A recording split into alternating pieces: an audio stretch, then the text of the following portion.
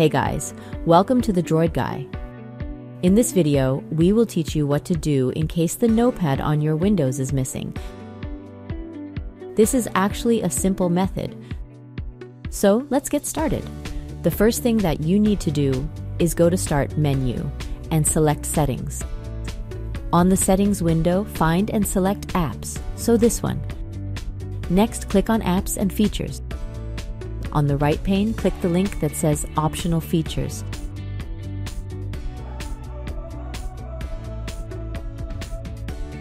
Next, click Add a Feature. Another window will open. On the search bar, type in Note. On your end, you'll be able to see here Notepad like this. Click on the checkbox and then select Install.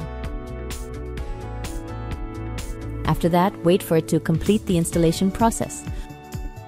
Once completed, close the window and then restart your computer.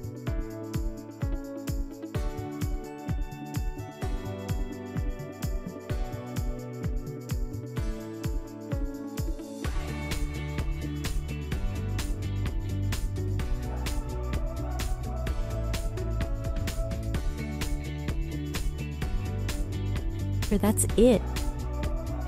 I hope this guide has been helpful. Please make sure to like, share, and subscribe to our channel. Thanks for watching.